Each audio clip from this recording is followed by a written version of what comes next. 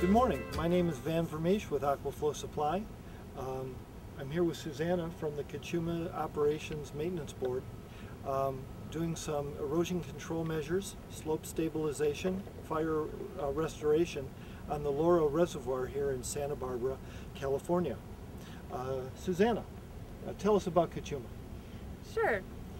Lauro Reservoir here is one of our main reservoirs. The Cachuma project is a large-scale federal water project that was built in the 1950s and it brings 85% of the potable water to the south coast.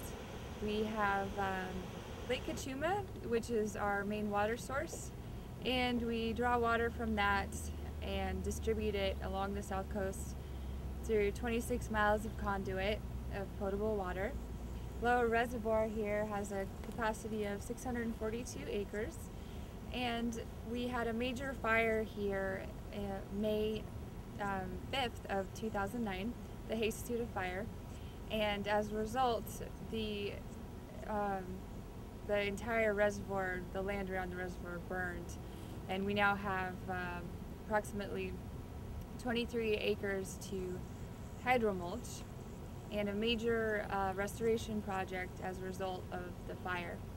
So we uh, have done several measures to this point of restoration.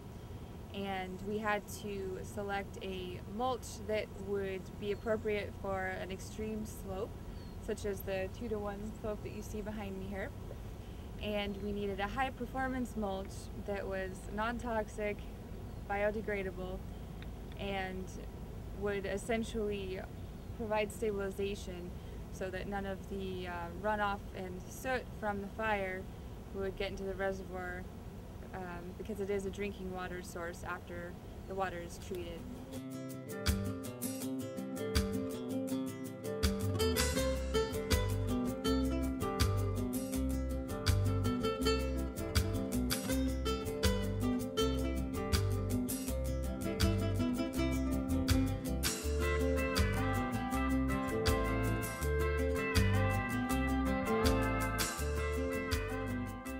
Dawn, how do you like the CX2 product from a, a contractor viewpoint, mixing and everything?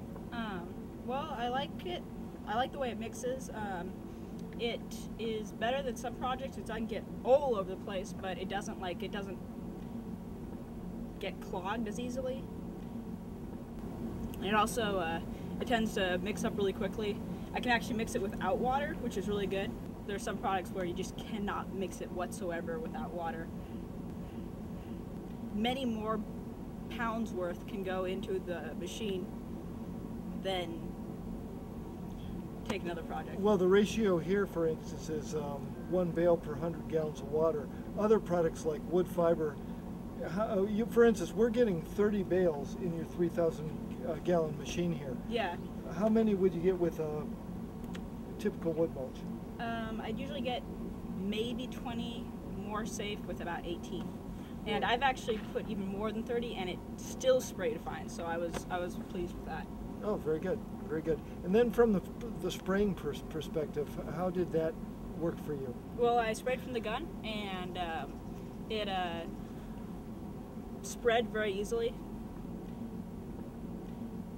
You're adding seed to it. Mm-hmm. Yeah.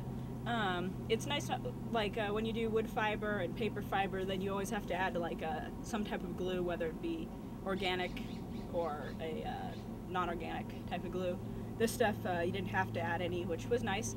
And also, there's other products where you don't have to add any product, any uh, glue, and they're like so slick that it's actually extremely dangerous to walk around on top of the machine when they're when you're using them.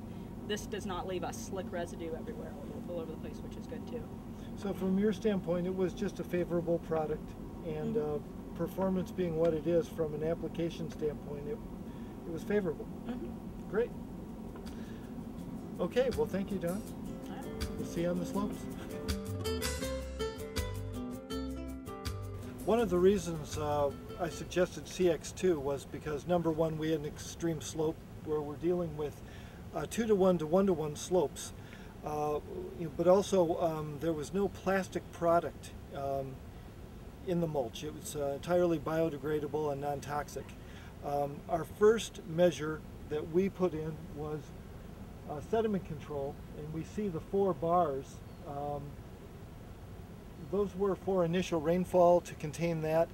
Um, we used North American Green uh, sediment stop uh, because it too is uh, biodegradable with no plastic. Um, and so we put that in with silt fence at the bottom to support a logging effort that went on prior to the hydromulching. Now that we're doing the hydromulching, Acacia Erosion Control is doing that job and a fine job at that. They started yesterday at the bottom of this slope shooting upward with uh, hoses and uh, then they're going to go from the top down I think this afternoon. Uh, concentrated effort on today. Um, and again, primarily this is drinking water reservoir, so we wanted to make sure there was no plastic in the um, mulch at all, uh, anything that could um, uh, harm the drinking water or the, the process they're involved in. Jon, how do you like the Hydro CX2 product? I like it a lot. I've been doing hydroseeding for uh, a couple of decades now, and I think it's a superior product. Uh, one of the things that the crew really likes about it is the way it loads in the machine. Get uh, 30 or more bales in a 3,000 gallon tank, so there's a high uh, material to water ratio that's uh, acceptable. Um, one of the things that we all like about the way it sprays out is um, it sprays out um, in such a way that it's not super thick, but it's super effective, and it conforms to the soil um, so that all the irregularities of the soil are accounted for, such that also there's a high seed to soil contact with this product, which is really good for germination, so it's an excellent uh, growth medium. Also, uh, from the point of view of the customer, especially in this case, is that it's non, non-toxic. And um, for this particular project, it's right around um, the reservoir for the drinking water of Santa Barbara they can't have any sediment or toxins in the water whatsoever. So this product's really good for that. Um, also, the service that's been provided by Aqua Flo has been excellent, and uh, I'd like to really commend them for that. So uh, that's about it. Santa Barbara, California. Beautiful day.